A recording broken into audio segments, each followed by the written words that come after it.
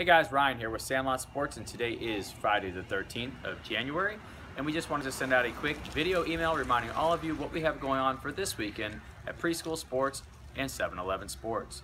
This weekend is our first weekend of our winter 2017 track and field program at Trinity Prep. Uh, so please arrive uh, on time and ready for some fun. We will give out uniforms the first day, so just dress comfortable. The weather's supposed to be beautiful, and we're very excited to have you guys there. In addition, coaches, if you are in the 4 o'clock session, please arrive 30 minutes early, and coaches for the 5.30 session, please plan on staying 30 minutes afterwards. If you guys have any questions or you still want to register, we still have a few spaces left in our program.